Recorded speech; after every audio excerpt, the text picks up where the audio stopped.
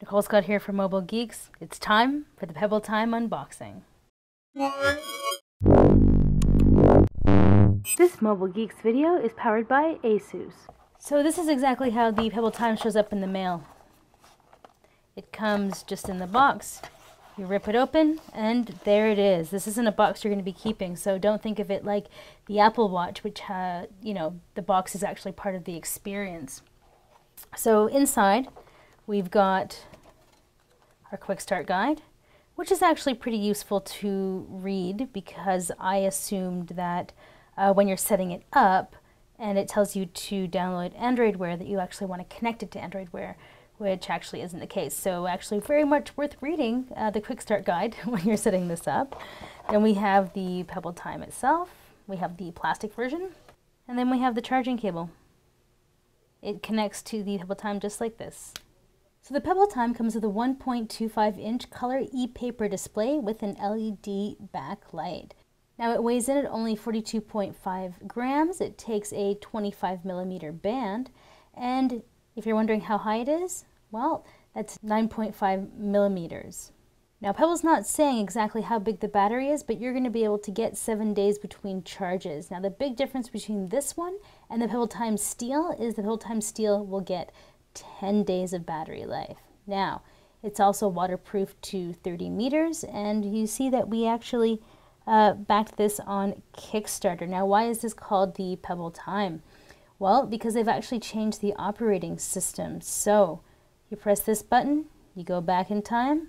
You press this button, you go forward in time. You press the middle button to engage, and, well, that's just to go back.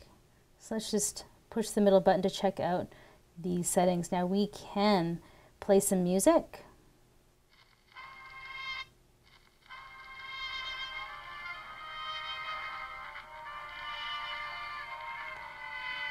All right, now let's just hit the next song.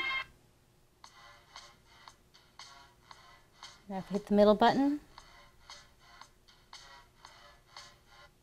pause it, play. And we can of course control the volume. So let's just stop that. And using this button, we'll just head back again. So going through the menu, it's very simple. So we have notifications. Let's go back. Now, if you want to answer a notification, you can't answer a notification that you've already received on the watch. It has to be a fresh one. And another annoying thing is that the time's not exactly smart enough to figure out that I've already read something on my phone. It will just show me everything new here. So that's a bit annoying. Then we have alarm clock, watch faces. There we can have our misfit. This is a timer. Sleep as Android, which is a handy app for uh, monitoring your sleep. Now, this since, since this comes with uh, quite a bit of battery life, you can actually wear this one to bed, whereas a lot of Android watches you can't. Now let's check out a few of the watch faces.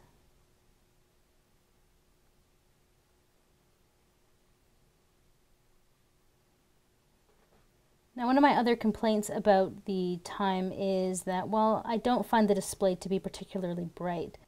So now what everyone's wondering is how, how does this compare to the original Pebble Steel? So I actually like the look of the Pebble Steel a lot more than I do the Pebble Time. I mean, even if the Time came in steel, I still think that uh, this design is a lot sexier. Yeah, I mean, if we check out the side profile, they've definitely curved out the Time a little bit more. But to be honest with you, I kind of like the boxiness of the original uh, Pebble Steel.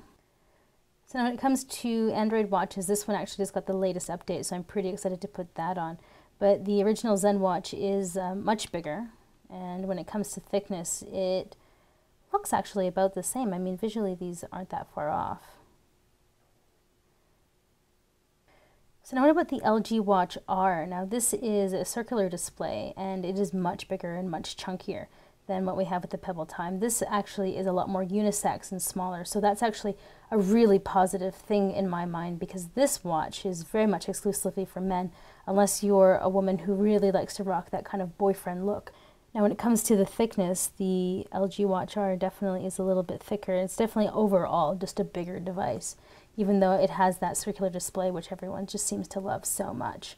So now here's the watch that everybody is asking about. How does it pair up against the Apple Watch? Now to be honest with you, it kind of seems a little more similar in size. I mean, definitely not display size, but just overall uh, front-facing size. I mean, the time just has this huge bezel around it, whereas um, one of the great notifications, um, or one of sorry, I just got a notification on here.